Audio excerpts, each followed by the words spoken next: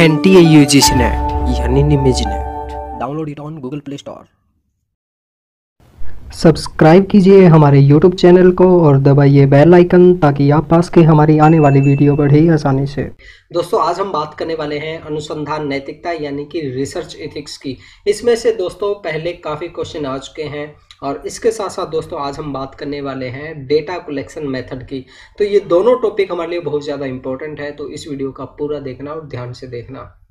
दोस्तों, अगर आपको नेट और जीआर चाहिए तो हमारा पेड कोर्स ज़रूर ज्वाइन कीजिए। इसमें हम आपको क्या देने वाले हैं? नंबर एक 2022 के न्यू अपडेटेड नोट्स देंगे। नंबर दो 2012 से लेकर 2020 तक सभी शिफ्ट के क्वेश्चन पेपर हिंदी इंग्लिश में देंगे। नंबर तीन पे दोस्तों, हम आपको 2012 से लेकर 2020 तक सभी शिफ्ट के यूनिट वाइज क्वेश्चन आपको देखने को मिलेंगे। नंबर चार पे दोस्तों, आपको यूनिट वाइज के अलावा आपको सब टॉपिक वाइज क्वेश्चन भी देंगे। आज तक जैसे जो भी टाइप ऑफ़ रिसर्च से क्वेश्चन आ चुके वो अलग है। हाइपोथेसिस के अलग है। टाइप ऑफ़ कम्युनिकेशन से जो भी क्वेश्चन आ चुके वो अलग है। यानी कि सब टॉपिक वाइज क्वेश्चन भी आपको मिलने वाले हैं। नंबर पाँच पे दोस्तों, हम आपको ओल्ड टेन यूनिट की एड फ्री वीडियोस देने वाले हैं। इसके अलावा भी आपको पेड कोर्स में बहुत कुछ मिलने वाला है। हम आपको मैथ और डीआई के सभी क्वेश्चन का सोल्यूशन प्रोवाइड करवाएँगे। और इसके साथ साथ दोस्तों, हम आपको ये बताएँगे कि ऐसे कौन से क्वेश्चन है जो बार बार एग्ज़ाम के अंदर रिपीट होते हैं। तो दोस्तों, देर किस बात की? अभी ज्वाइन कीजिए हमारा पेड कोर्स क्योंकि निमिजी नेट है तो जीआरएफ है। दोस्तों, चलिए सबसे पहले हम बात करते हैं कि अनुसंधान नैतिकता क्या होती है, यानी कि रिसर्च एथिक्स का मतलब क्या है। देखिए, अनुसंधान नैतिकता का आशय अनुसंधान के प्रदत्त संकलन तथा विवेचन के चरण में संगत माना जाता है। यानी कि इसका मतलब क्या है? दोस्तों, जब हम डेटा कलेक्शन करते हैं सैम्पलिंग करते हैं और जब उसका एनालिसिस करते हैं, तब इसका ध्यान बहुत ज़्यादा रखा जाता है। और इसके अंदर अनुसंधान नैतिकता के अंदर बहुत सी चीज़ें आती है दोस्तों, उन सभी के बारे में हम बात करने वाले हैं। जैसे कि शोध रिपोर्ट को तैयार करना, समस्या का प्रतिपादन करना, अनुसंधान निष्कर्षों का प्रतिवेदन करना इत्यादि के अंदर इसका उपयोग किया जाता है। और इसको अच्छे से समझने के लिए हम और बातों पे ध्यान देते हैं दोस्तों। देखिए ईमानदारी पूर्वक आंकड़ों, परिणामों व विधियों का उपयोग करना। देखिए, जब भी हम रिसर्च करते हैं तो उसके अंदर हमें ईमानदारी से काम करना बहुत ज़्यादा ज़रूरी है। जब हम डेटा कलेक्शन कर रहे हैं तो उसके अंदर ईमानदारी दिखाना ज़रूरी है। ऐसा ना हो कि हम जैसे डेटा कलेक्शन कर रहे हैं या फिर सैंपलिंग कर रहे हैं, हमें मान के चलिए छः गाँव का डेटा कलेक्शन करना है। छः गाँव के अंदर मान के चलिए कि हमें सौ लोगों का डेटा इकट्ठा करना है। तो ऐसा नहीं होना चाहिए कि हम पूरे गाँव, सभी गाँव में ना जाके एक ही गाँव से डेटा कलेक्शन कर लेते। हैं हम सोचते हैं भाई ये गाँव अपना इसमें से डेटा कलेक्शन कर लो, सौ लोगों का डेटा लेना ये अपने ही गाँव से ले लो और रिसर्च के अंदर दिखा देंगे हमने कि हमने छः गाँव का डेटा कलेक्शन किया तो दोस्तों, वो जो रिसर्च होगी, हमारी अच्छी रिसर्च नहीं होगी, वो अनुसंधान नैतिकता का उल्लंघन होगा। तो ये चीज़ हमें ध्यान रखना ज़रूरी है। पूर्वाग्रह तथा भ्रांत भ्रांत धारणा से बचना। यानी कि अगर हमने पहले से कोई धारणा बना रखी है अपने रिसर्च के बारे में, जो रिसर्च हम कर रहे हैं, जैसे कि मान के चलिए हम सोचते हैं कि आज जो लोग हैं टीवी देखना बंद कर गए हैं और टीवी से कोई प्रभाव नहीं पड़ता। हो सकता है ये हमारी थिंकिंग हो। हमने ये सोच लिया भाई आज मोबाइल आ गया मोबाइल से सब सब कुछ देखते लोग तो टीवी को भूल गए। तो हमारी जो अवधारणा है ना दोस्तों, उसको छोड़ना पड़ेगा।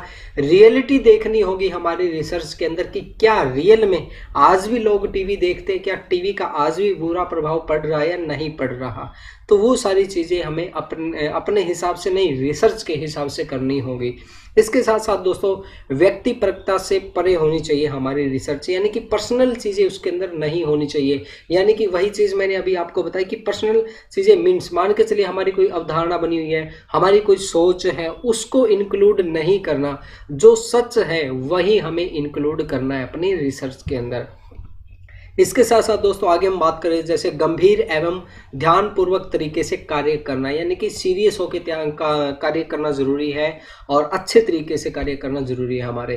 अप्रकाशित डेटा मेथड का यूज़ नहीं करना हमें ऐसे किसी भी डेटा या मेथड का यूज़ नहीं करना जो अप्रकाशित और जिसके बारे में किसी को नहीं पता हो। ये चीज़ हमने पहले भी आपको एक बार बताई थी कि जो रिसर्च होती है, उसके वो साइंटिफिक तरीके से और एक सिस्टमेटिक ढंग से होती है। उसमें ऐसा नहीं है कि हम अपनी तरह से रिसर्च करने लगे। नहीं, ऐसा नहीं। रिसर्च होनी, ऐसी होनी चाहिए जो वैल्यूएबल हो और जो ऑथेंटिक हो, ऐसी रिसर्च होनी चाहिए। इसके साथ साथ आगे हम बात करते हैं दोस्तों, विश्वसनीय प्रक्रिया होनी चाहिए। अभी हमने ये बात कर ली, ज्ञान वृद्धि में सहायक होनी चाहिए अपनी रिसर्च गोपनीयता व स्वायत्ता का समान रखना चाहिए। अगर हम किसी गाँव के अंदर या कहीं भी डेटा कलेक्शन करें और वहाँ पर व्यक्ति कहता कि मेरी जानकारी, मेरा नाम पता, अपनी रिसर्च के अंदर मत देना तो हमें उसका नाम पता नहीं देना। यानी कि उसकी गोपनीयता रखना हमारे लिए बहुत ज़्यादा ज़रूरी है।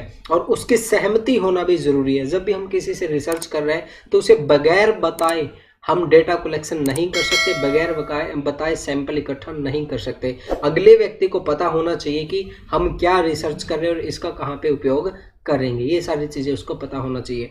कलात्मक व सृजनशीलता प्रक्रिया होनी चाहिए। हमारी रिसर्च के अंदर एक क्रिएटिविटी होनी चाहिए। ये नहीं है कि हम एज ए फॉर्मेलिटी नहीं करनी चाहिए। क्रिएटिविटी हमारी रिसर्च के अंदर होनी चाहिए। मानवीयता का गुण होना चाहिए। भविष्य हेतु होनी चाहिए। हमारी रिसर्च ऐसी होनी चाहिए जो रिसर्च आगे भविष्य में काम आ सके। इसके साथ साथ दोस्तों, और जो एरर क्या क्या हो सकते हैं, उनके बारे में हम बात करते हैं। जैसे काल्पनिक अवधारणाएँ, यानी कि हमें काल्पनिक चीज़ें इंक्लूड नहीं करनी।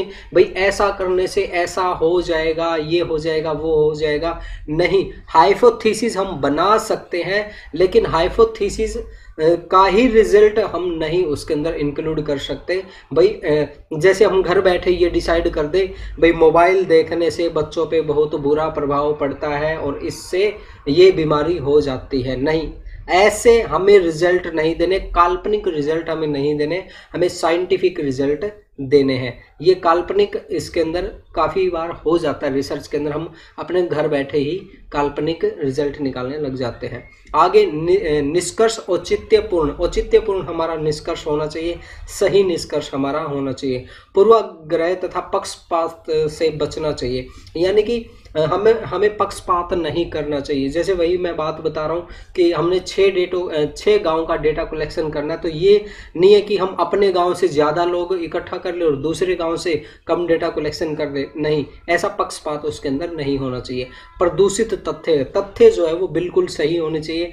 गलत तथ्य हमारे रिसर्च के अंदर नहीं होने चाहिए। इसके साथ में दोस्तों भ्रांतियाँ नहीं होनी चाहिए हमारी रिसर्च के अंदर, यानी कि मिथ्या नहीं होनी चाहिए हमारी रिसर्च के अंदर।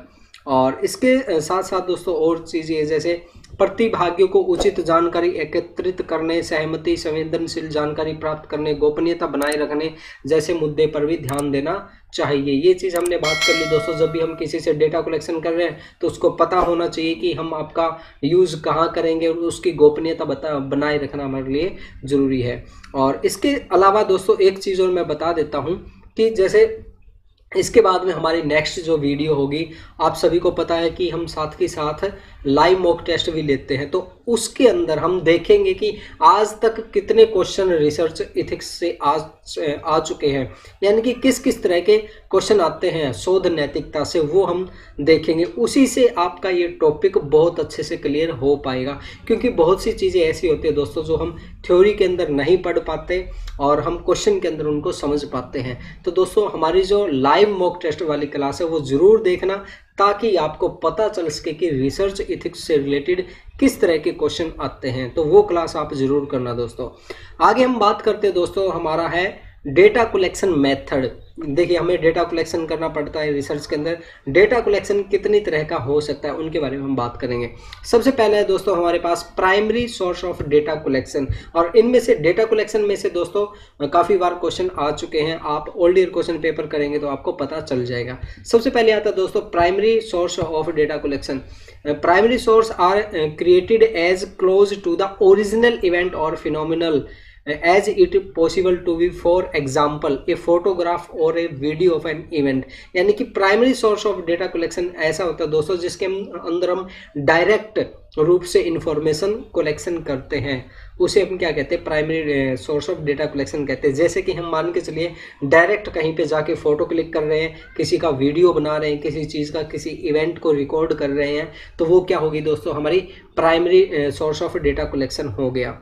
और इसके अंदर दोस्तों, जैसे यहाँ पे आप हिंदी, इंग्लिश में देख सकते हैं, ऐसा रिसर्च डेटा जो हम सीधे तौर पे वास्तविक घटना या स्रोत से प्राप्त करते हैं, उसको हम प्राथमिक स्रोत कहते हैं। इसके अंदर दोस्तों, जैसे हम डायरेक्ट किसी का इंटरव्यू भी ले सकते हैं, किसी से क्वेश्चन भी पूछ सकते हैं सर्वे करके तो वो क्या हो गया दोस्तों, ये हमारा direct primary source of data collection हो गया।